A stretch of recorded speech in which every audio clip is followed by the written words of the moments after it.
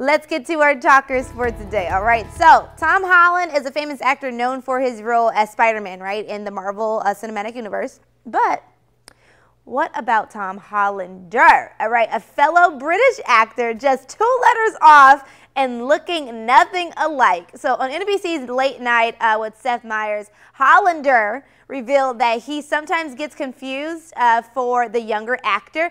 He said he, uh, when he was briefly with the same agency as the Spider-Man star, the accounts department accidentally emailed him the first box office bonus for The Avengers, a movie he was not in. Holland was. Hollander joked that the seven figure sum really brought him down a peg. I mean, yeah. I, I, can agree with that. I would expect that.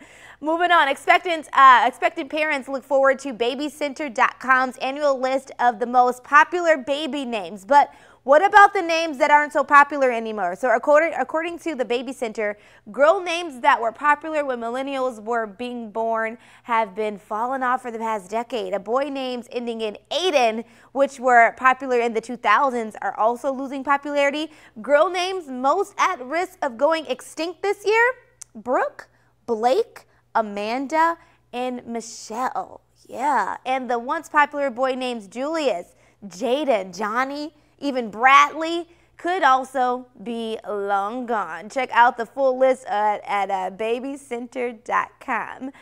You know, LaMyiah will never go extinct because I only met about two other LaMyiahs. Mm. Yeah, we're original. All right, get ready to rock your body with Justin Timberlake. The Mirror singer is hitting the road this spring with the Forget Tomorrow World Tour. Now, Justin's first musical outing in five years kicks off on April 29th in Vancouver. Fans are already getting a taste of Timberlake's new music. He released the song Selfish. It's the first song of his upcoming sixth album, Everything I Thought It Was.